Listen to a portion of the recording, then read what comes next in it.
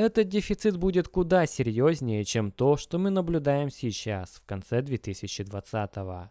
Всем привет, ребята, меня зовут Богатейший Ди и добро пожаловать в новый выпуск. Прямо сейчас происходит массовый дефицит биткоинов. И резкий взлет цены биткоина в некоторой степени обусловлен и этим. Только лишь за прошлый месяц биткоин удвоил свою цену. Мы не видели таких цен с момента эпического булрана 2017 года. Так что же тут происходит? Откуда вдруг возник огромный дефицит биткоинов? Я уже очень давно слежу за этой индустрией и могу сказать, что такого дефицита мы еще не видели, и сегодня я расскажу вам почему. Также в этом видео мы обсудим текущий спрос на биткоин, кто покупает его и как халвинг 2020 влияет на нынешнюю цену. Но прежде чем мы начнем, я попрошу вас поставить лайк под это видео. Давайте наберем хотя бы 4000 лайков. Мне будет очень приятно, а также каналу это очень помогает развиваться. Большое спасибо за вашу поддержку. Я не знаю, слышали ли вы новости, но рынок столкнулся с огромным дефицитом биткоинов, и это очень серьезно. Это начало происходить точно во время халвинга. Дело в том, что ценность биткоина в частности подчиняется закону спроса и предложения. Мы знаем, что предложение биткоина фиксировано. Это всего 21 миллион монет, которые когда-то будут в циркуляции. Значит, в основном ценность определяется и будет определяться спросом. Возникший дефицит связан с сильным ростом спроса на биткоин. Это означает лишь одно. Для удовлетворения возросшего спроса не хватает предложения биткоина. Согласно универсальному экономическому закону о спросе и предложении, с возрастающим спросом предложение убывает. Это влияет на рост цены предложения. Биткоин не исключение, возможно наоборот, прекрасный пример этого правила. Так какие силы принимают участие в этой игре? Чем вызван рост спроса и почему предложение биткоина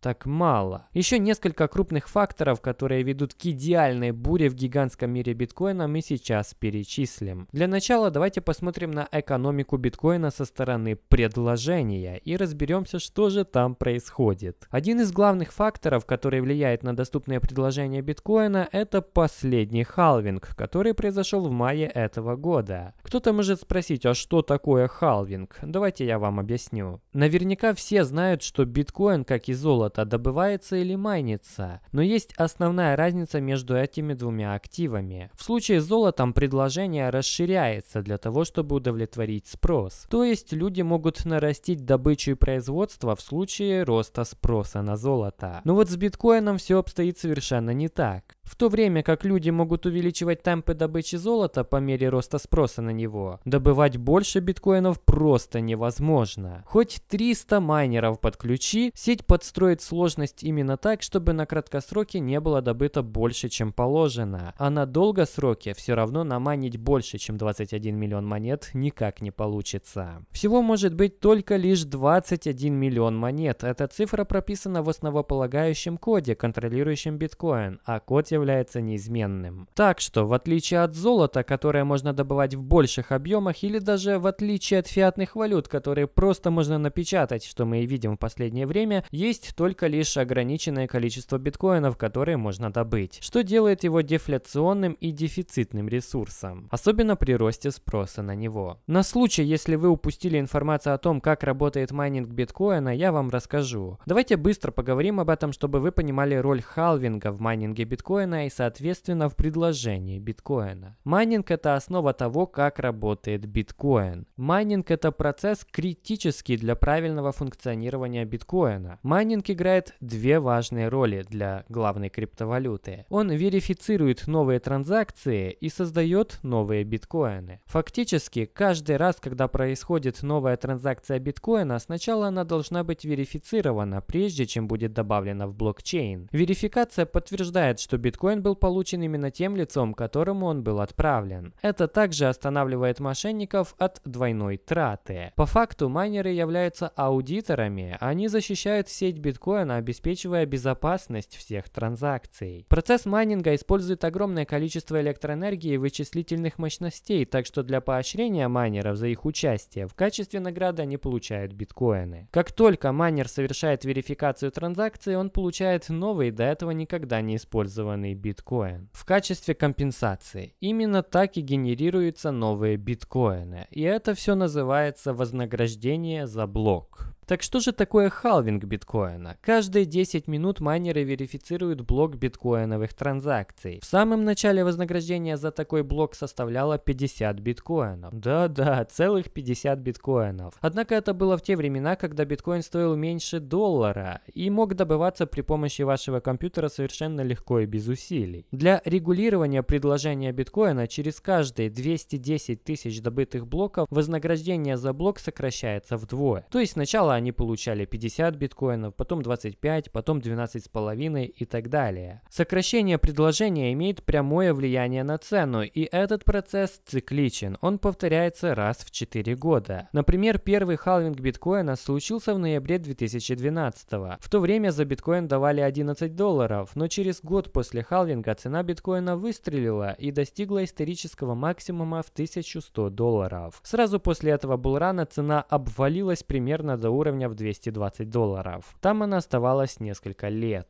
Следующий халвинг произошел в июле 2016 и через несколько месяцев после этого халвинга цена биткоина снова начала расти, что привело к абсолютному рекорду, цены о которой говорят и сейчас – 20 тысяч долларов за биткоин. Бесспорно, этот булран сделал биткоин криптовалютной звездой. Он не теряет этот титул и по сегодняшний день. Итак, как мы видим, халвинг биткоина уменьшает предложение монет, поступающих в систему. Это приводит к шоку предложения, не способного удовлетворять возрастающий спрос, что и заставляет расти цену. В мае этого года произошел третий халвинг биткоина, обозначив начало четвертого цикла, и мы уже тогда знали, что цена биткоина будет расти. Сейчас мы уже видим, что цена даже достигала исторического максимума в какой-то момент в ноябре, хотя все только начинается. Инвесторы жаждут событий. Они покупают множество биткоинов, что приводит нас к другому фактору дефицита – увеличению спроса. Теперь давайте посмотрим на другую сторону экономики биткоина